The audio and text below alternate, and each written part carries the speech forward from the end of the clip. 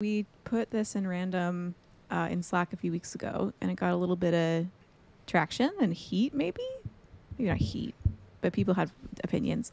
So, Duolingo CEO says AI is a better teacher than humans, but schools will still exist because you still need childcare. I mean, this is a little bit of clickbait. It's a little bit true, and it's a little bit clickbait. Like, my personal opinion is that there are a lot of academic things that can be accomplished without a human in the loop.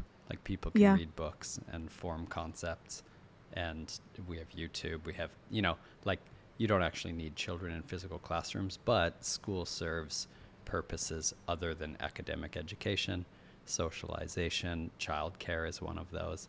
Um, so, uh, yeah, there is a need for little humans to go hang out with other little humans with some adult uh, like, Supervision. supervision, so that big humans can go to work and have jobs and clean the house. Yeah. You know, like Yeah. The would top say- comment on Oh, this, I'm just going to read it quickly, is super funny. It says So AI teachers will give kids assignment that the kids will complete using AI. The teacher AI will then use another AI to grade the assignment. Basically, you can remove the kids and the teachers from the equation.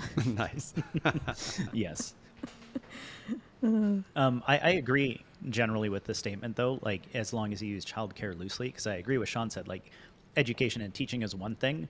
AI is probably already better at the vast majority of teachers just because of its broad knowledge, right? Like, how do you compete with that? You just can't.